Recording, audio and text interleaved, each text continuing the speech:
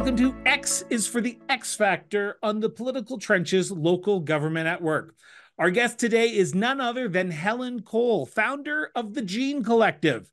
The Jean Collective stands as a beacon of empowerment and advocacy dedicated to cultivating a landscape where every woman is equipped, encouraged, and empowered to assume leadership roles rooted in the belief that informed and educated women are the bedrock of a vibrant electorate, the collective tirelessly advocates for change, striving to forge parity in politics, particularly within the realm of municipal governance.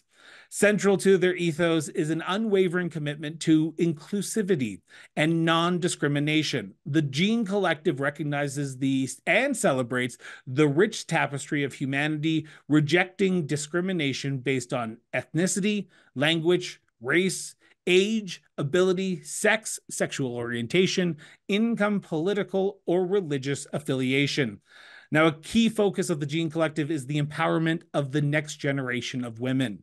Now, at the forefront of the Jean Collective is none other than our guest, Helen Cole, a dedicated advocate for women's leadership and empowerment with a remarkable 35 year career spanning local governance and nonprofit sector from serving in various capacities in Chatham, Kent, St. Thomas Elgin, and Sarnia Lambton, Cole's passion for community engagement has remained unwavering. The Jean Collective is not merely an organization, it is a movement fueled by the collective strength and determination of women. Together, they can champion change, dismantle barriers, and pave the way for the future where every woman can realize their full potential and contribute to the fabric of society. So, with that, welcome to the political trenches, Helen. Thank you. And uh, thank you for that wonderful introduction. Um, that was very powerful and really meaningful to me. Thank you so much. I, I am so looking forward to this conversation. Ian and I have been chatting about this uh, prior to recording, and it seems like your organization does tremendous work. But as the episode is titled X is for the X Factor, I'm wondering if you can, with that description of what the Jean Collective is and your background, if you could for a moment, Helen, describe what is the X factor? What is the factor that goes into making a good leader in 2024? Well, it won't be just one factor. Um, it's a blend of several qualities. And for women in politics, there are some that hold special significance. For example, um, authenticity it's so important that we don't try to be someone that we're not, that we show ourselves, and so that the public feels that they can trust you. You need to be true to yourself and have a genuine connection to what your beliefs and your values are. Next, I would say resilience is so important. Politics can be tough. And for women, it can be even tougher due to a lot of systemic and societal barriers. So resilience is really key. I think that next would be strong listening and communication skills. It's very important that you are able to empathize with members of the public, whether you decide to run for office, perhaps you're looking at leadership roles in your community. So strong listening and communication skills results in effective communication. And that is just so important. Um, I think having a vision and a passion for what you believe in and your integrity, so important that you know what you stand for. Uh, there's a quote, um, but it won't come to me right now about if you don't know what you stand for, then you'll fall for anything, pretty much is it. So when it's really important, whether you're making decisions as a leader in your community or you're making decisions as a woman politician, it's important to know what you stand for and what your vision is. So I actually have a um, a series of workshops where those are one of the workshops that that we work through. and so we'll be talking about that... that in a few minutes here. But I, okay. I, yeah, we'll be talking about the workshops here at the end of the at the end of the interview. But I just want to take a moment and just sort of um, ask sort of a weird question, if you don't mind, before I throw it over to Ian what skills and qualities you talk about empathizing leadership communication but what specific qualities are essential for women aspiring into municipal governance? As someone who served on council from 1991 to 2000 in St Thomas Ontario i can imagine you have seen candidates councillors mayors who have good qualities and bad qualities when they are in municipal governance. What makes what skills and qualities are essential for women aspiring to municipal politics in 2024? The items that I mentioned earlier are certainly important. I would add to that that it's really imperative that you have a good understanding of your local community you need to know what the community's needs, what the challenges, and what the community itself is, is looking for. It might be helpful to be aware of history and culture as well while you're making decisions. Um, again, the uh, leadership and the vision, I come back to that again. So if you don't stand for something, you'll fall for anything. So those are the things that I think are important if a woman is um, looking at being running for public office. Just really, really important. You need to have a passion for your community. Why else would you do it? And um, and I, I'm just going to throw this in there, even though you didn't ask. There is no other level of government where you can have the effect on your community that you can have at the local level. So I'm always, um, I've done a few candidate information sites sessions, and that's what I always stress. This is where you can make the difference. Anyway, I could go on. As I said, I was a politician at one time, so I'll stop. All right. Well, I will take over at this point too and look specifically at getting women involved in local government. Uh, and of course, they're not 50, it's not even close to 50 50 in terms of either uh, mayors, wardens, right. councillors, any of those sort of things. But hopefully the trend is starting to move. You probably know more about that than we do. But what do you see as some of the most significant barriers to getting more women involved in or participating in local government in elected roles or advisory roles? Well, there is the fact that it's it is improving, but in the past, we haven't had a lot of role models that we can follow. Um, as I said, that is improving, but that is one of the barriers. Um, women also are very hard on themselves in that they have expectations of perfection. They they've got to be able to do everything just right.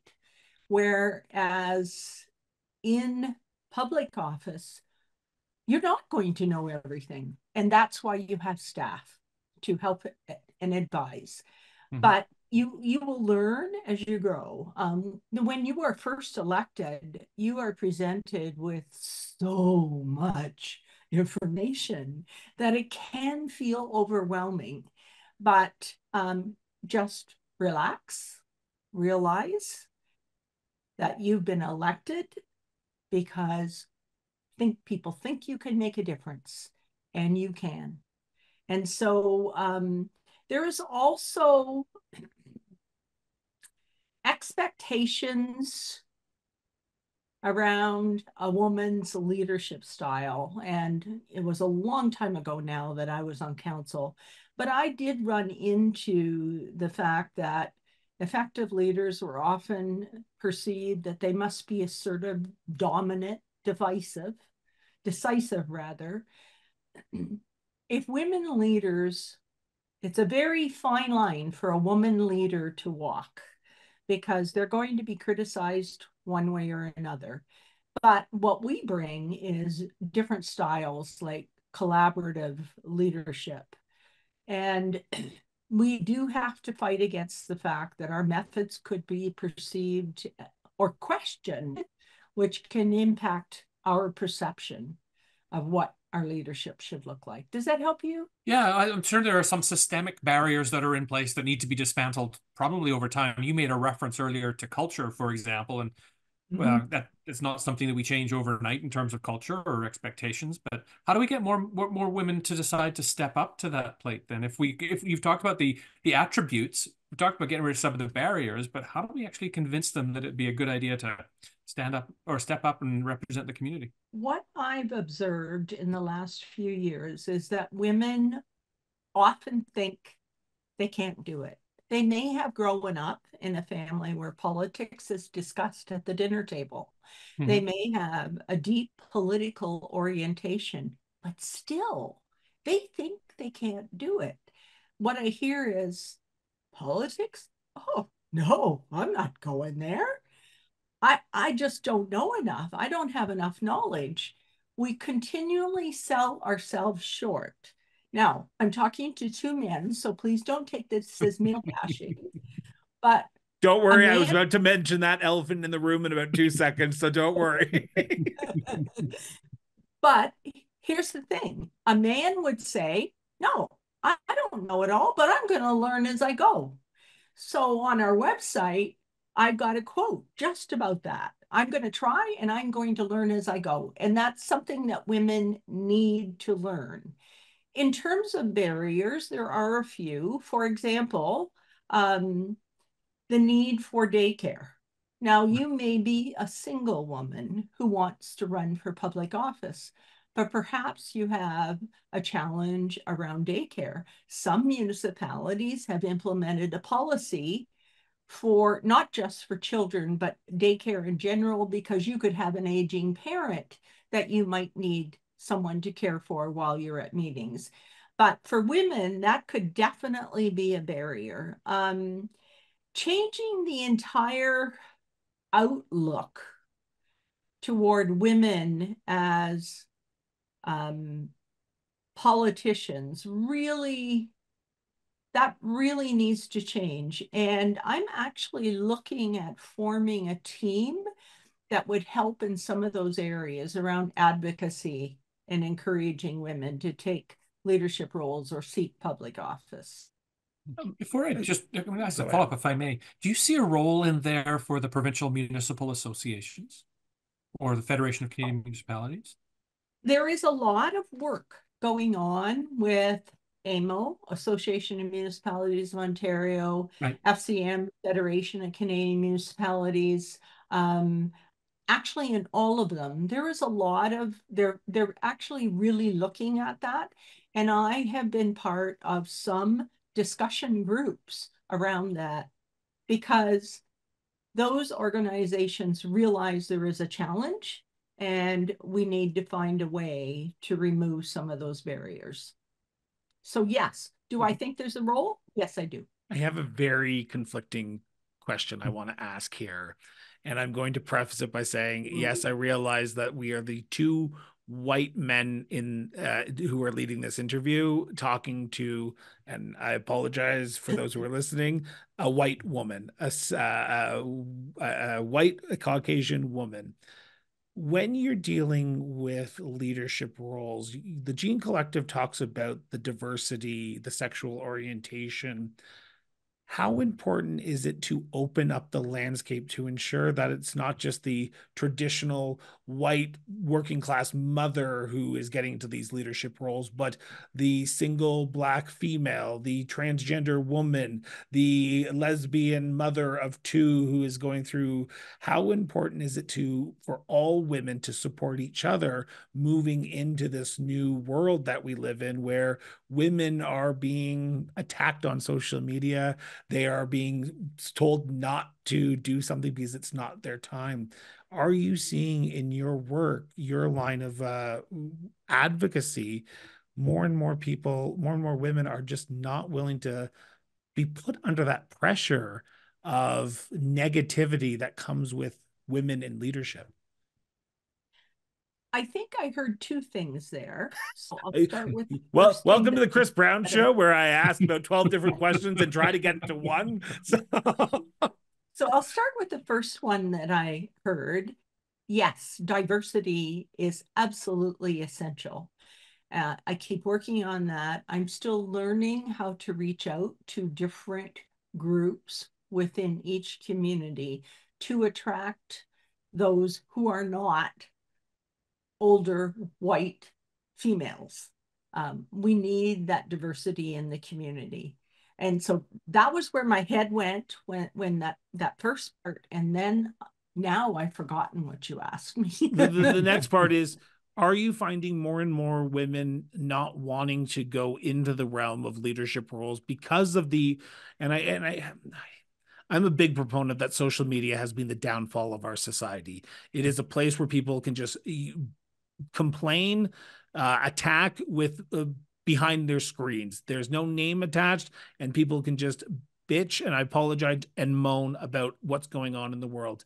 Are you finding when you're talking to women in who are prospective leadership roles saying, I don't want to put myself through that. I don't want to put my family through those negative attacks that uh, comes with being in a leadership role in 2024. Yes. Um, that is because definitely... I can imagine the, the, the abuse that is today, and I this is what's going to be my follow up question.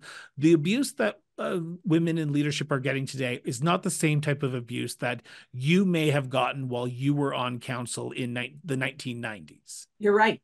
Um, my abuse mostly came by phone calls um, because we social media wasn't a factor then or I can remember certainly one time after a meeting when I made a decision in a committee that one of my committee members didn't agree with, and he threatened me outside in the parking lot.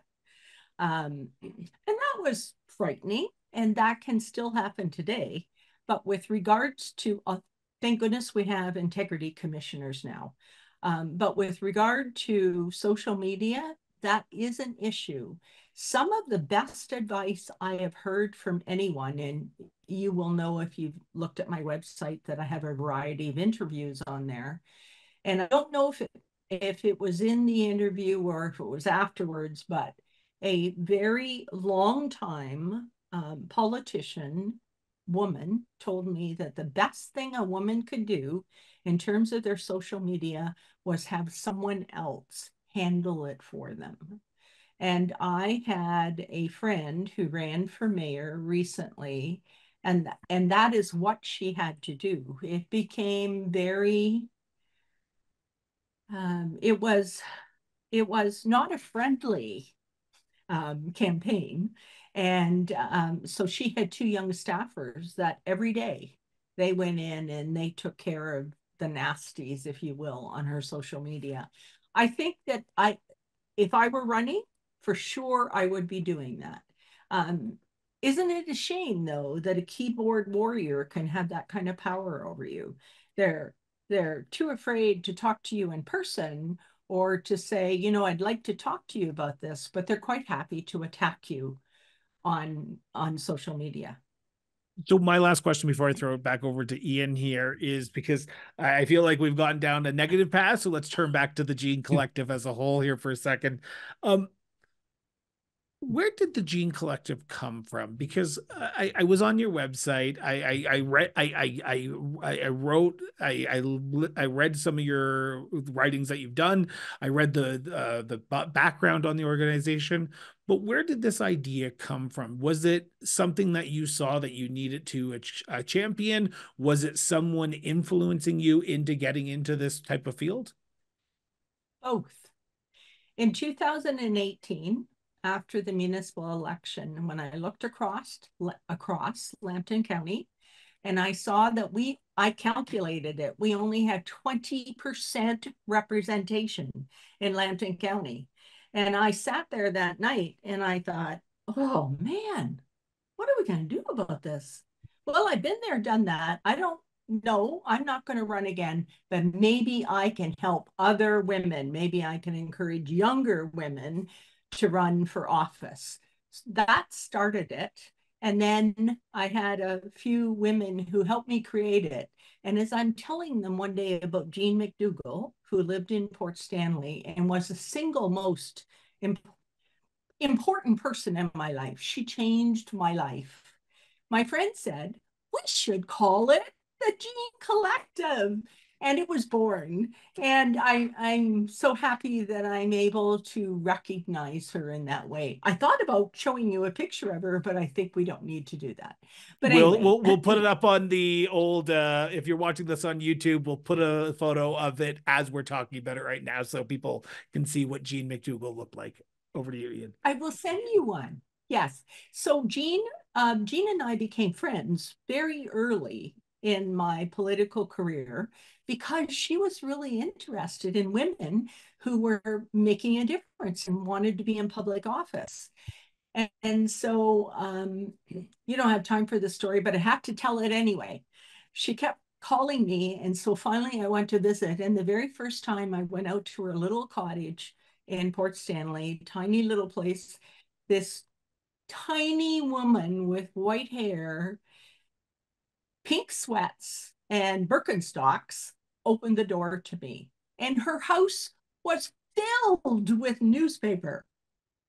So, because she read newspapers all the time and she had read about me, you know how that goes when you're a politician and you get reported in the local paper. So, anyway, we grew from there to the point that um, I call her my heart mother. Aww. And she was very, very important to me. I'd like to change direction if I can just a little bit as we come like, kind of closer to the end of the uh, of this these, these line of questioning, and that is about trends and things. Are you seeing any trends? You, you talked about the 20% representation a little while ago. We've talked about some of the barriers that you're seeing to participation, but trends either in your province, in the country, or even international. Do you do you know what's happening in terms of getting more women involved? I am seeing more women um, getting elected at all levels of government. I think we have about 30 years to go before we reach hmm. parity, however. Um, in 2022, I supported 20 women who were running for public office. And we definitely, I want to say we increased to 30% in 2022. We've definitely um, increased our representation. So we're on the way. We've got more work to do. And, and of course, I'm not going to be here forever. So I'm hoping that I can bring more people along who will help to keep this growing and will continue to support women in politics and in leadership roles. Are you getting interest from outside Ontario? There is some, but here's the challenge. Um, the rules are different the so in terms of being very specific of public about public office, that can be a bit challenging. But here's what is the same. What I discovered is, is women didn't want to ask for money. Oh, I can't ask for money. And yet they were totally shocked at what the campaign would cost them. So they need to learn how to ask for money. A perfect example is me. Um, I have to call and ask people for money to fund my conferences. And every single time I pick up that phone, I hate doing it. And the old imposter syndrome rears its ugly head. Yeah. That's the same that happens with women who are running for office. So hmm. they need to be stronger about asking for money. They need to develop their campaign. They need to know what their platform is, which then again takes you back to what their values are and what they stand for. I think I went beyond what you asked, but that's great. No, I'm I because we we have uh, listeners and watchers from coast to coast and beyond Canada as well. And my suspicion is what you're talking about specific to Ontario is is not specific to Ontario. That is it's happening elsewhere in perhaps in the Western world as well. So with that, I, I oh. hope that we can make a difference wherever in any province or country. so I, I want to talk about the future a little bit here because we are like ian said we're coming to the end and i i want to ask you about two upcoming events that the Jean Collective is hosting um, you are hosting two upcoming leadership conferences to get more women involved one on April 13th, which is being held in Wyoming, Ontario, which, yes, I had to double check was an actual place because I thought that was not a place until I Googled it. and the second being held on April 27th in Aylmer, Ontario. And I knew where that was because I had the pleasure of sitting down with a counselor from Aylmer, Ontario just recently. Now, what do you hope and what is the hope of the Jean Collective uh, for the takeaway of these two leadership conferences, one on April 13th and one on April 27th. Okay, takeaways. Um, increase what here's what we found from um, our September conference. And this is what I hope and I believe women will take away from the April conferences. And by the way, I start planning for September one at the end of this month. I'm meeting with that group and it will be September the 14th. But what has happened from our very first conference is that the attendees, the women who attend, are leaving feeling empowered and with additional conference Because hearing from successful women leaders and understanding those pathways to leadership and political involvement does help to increase their self confidence. The other was that the networking and the community building is huge. There are women who attended the conference in September who have become friends and are and and Catherine DeRogier that you interviewed, she specifically requested that some of those women who were at the September one come to the Elgin one because she just adores them. So that's happening. Um, by the way, I should say that um, though the women in uh, Elgin, the most fantastic group that I love these young women. I love working with them. They make me feel young. We have our meetings in a restaurant with a glass of wine, and it's so much fun. So Catherine DeRogier, Rainey Weisler, Morgan, Morgan Halpin, and Sarah Emmons are on that committee. What it is so revitalizing to work with a young group like them. So in Lambton County, Tracy Kingston and Judy Kroll are my um, two important volunteers there, both people I've known for a long, long time. And the outcomes of both of those conferences are as I described that women will feel they're part of a community, they'll make friends, they'll feel connected, and they'll feel inspired. The I, there were rave reviews from the one in September, so I'm recreating it to be very similar. I, I, I, can tell you that you do get rave reviews because I had the pleasure of sitting down with a few of those names that you just mentioned, and they all said that your conference was very helpful in them in overcoming some of the challenges that they faced. Um, I want to go ask though, because I am cautious of time. Where can people learn more? Where can people get tickets? Uh, I'm assuming there's some links, and we'll put them in the show notes. But where can people learn about some of the speakers who are going to be at these conferences? So I do. Um, we operate on a shoestring, so um, it's all dependent on how much money we have for the conference.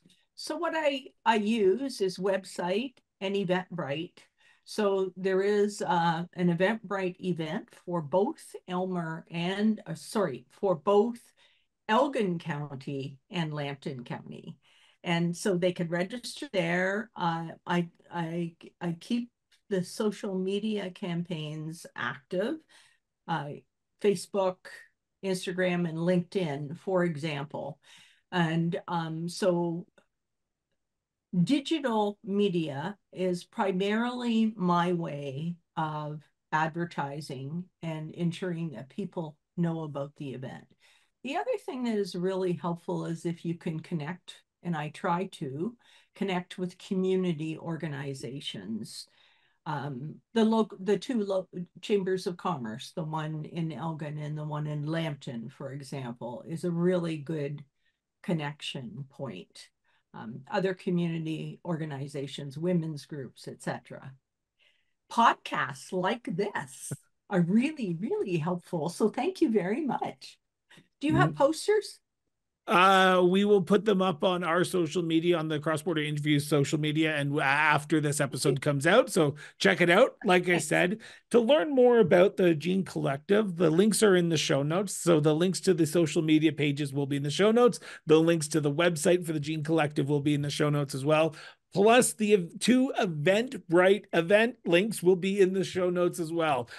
I highly recommend you check them out. And Helen, I want to thank you from both Ian and myself for taking time out of your busy schedule and doing this interview, talking about what goes into a good leadership of women in politics and municipal governance, but also sort of the systematic barriers that women face as well. We wish you all the best in your two upcoming events, and I really hope they are a smash. Thank you so very much. It's my honor to be featured in this podcast. I really appreciate you giving me the opportunity. My only question is can I come back again?